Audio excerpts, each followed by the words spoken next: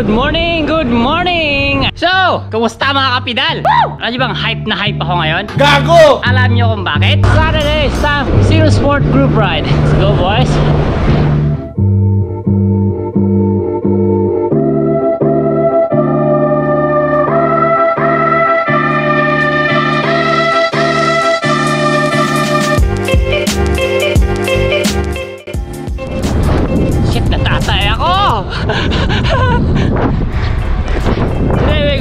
Going to start in Yongan because Bali is way too far, so and I am just alone today. Let's go, let's go check it out.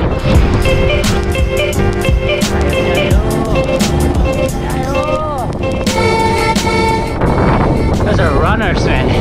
amazing huh? Morning! Look at this two guys. Saan kayo pupunta? Ha? Diyan lang saan? Sakay sa akin. Zero Sport. Kapartan mo. Ah, masipag oh. Pambayad ng batan. Yan ang OFW, nagpa-part-time pag Sabado. Pamilyadong tao, no? Mm. Panggatas. Yes. His name is? There you go. Ryan Arga. Yeah, from Pilipinas. For the first time. Ano, ano natin? F12 natin. Yeah, yes. M12, lupit. Ganda ng bike, oh. Sumaya na ako dyan. Boss, Bay bayad daw, bibigyan sa taya. nahagip ko sa vlog ko. Boss, ganda ng bike natin. Hindi, mumurahin lang yan po yan, mumurahin lang po yan. Ganda ng bike, oh. Paano masabi? Nakalimutan, bumili ng pang Chris. Patay na sa vlog ka naman. Pasensya na po, nakabili na ako ng bike. Oo, oh, nakalimutan yung Chris eh, Yung oh. Chris, wala, hindi makabili ng Chris. Ano natin? Yan lang sir. Ah. Pa, call lang kami. Ruta-ruta lang. Oh, bakit ang batalyon sabi ito eh, oh. nice, nice, nice. Yes sir, surprise sir. Yes, nice to see you. Let's share ka na. Ingat, Tara. Next time na lang kami sir, sama. Yes. Nakabili ako ng Chris. Ah, nice, nice, nice. Ganda-ganda ng bike eh, no? No? Follow nyo si Homer the Wonder. Sir, salamat sir. Ingat. Sige, ingat. So, yun. Pupunta daw sila magpa-part-time. Ganun ang buhay dito. Pagka walang overtime, maghanap ka ng part-time, then yes, you will uh, have some allowance. You know? Good job, boys. That's a good job. See you on the road, guys, next time. So yeah, it's just me waiting here at Yong'an, waiting for the team to come, the Zero Sport boys. Let's wait for them. Many, many minutes later. I literally have no idea kung anong group ang mga nasa harap ko ngayon. Pero sasama ako sa kanila. Hindi ko maantay yung Zero Sport. So yun, sama na lang sa mga to. Kahit mapagal, pagtsagaan na lang. Ayan o. There's literally no wind. Small only. Walang kahangin-hangin. Look at the windmills, they're not even moving. No headwind today. It's gonna be a hard one. Hmm, look.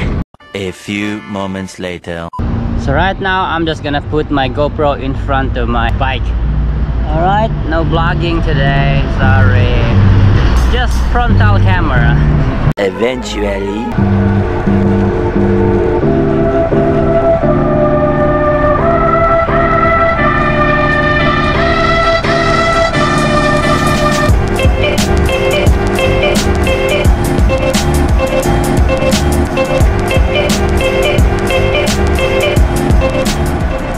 And eventually after this video, I attacked and my GoPro was cracking, making a cracking sound and the holder was already loose so I had to stop, unscrew my GoPro and put it in my back pocket with the GoPro tulando song tiado.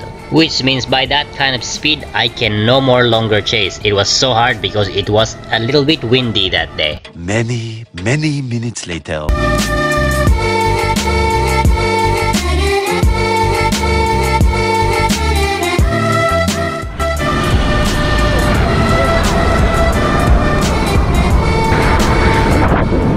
GoPro almost fell off today, man.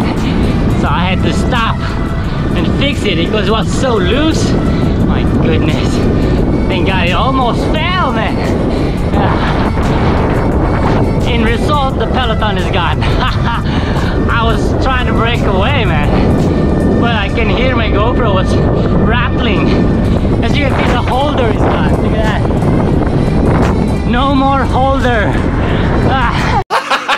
Ah. 82 kilometers later.